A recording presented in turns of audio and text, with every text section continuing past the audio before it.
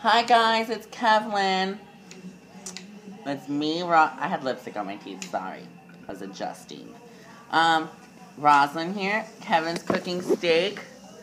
Steak and rice. Yum. This big ghetto thing is in my way. Kevin is flexing. Look at them big flex muscles. Mm, baby. You know me. Mm, he turns me on so much, I just get wet in my panties. Probably shouldn't say that, right? No, fuck it. I get wet in my panties when he flex. Anyways, Kevin and I are actually going to do a chill night tonight. I look pretty good for being drugged, right? Last night, I cleaned up very well. I'm surprised he's going out too. You're like, Right? "All right, let's go, let's go again. Oh, okay. this bitch cray. Round two. We're actually.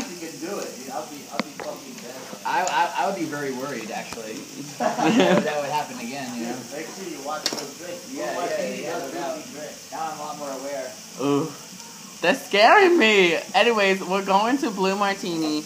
We're just gonna do something chill just because of the simple fact that I'm like, um, I really, I don't know. I got all dolled up. I have my Be- Beetlejuice pants on. I'm gonna, sh- I want you guys to tell me if I have camel toe. Do I have camel toe? That just means my pussy is fat and juicy.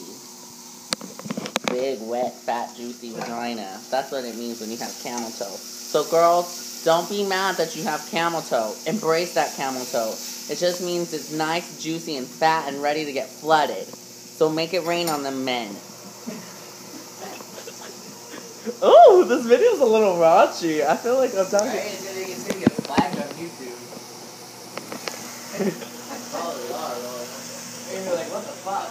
Um, but anyways, we're going out tonight. Um, I'm probably gonna record a video when we get back because I want you I want you guys to know if um, how the night went, and then I will let you guys know if I get drugged again or if I'm alive.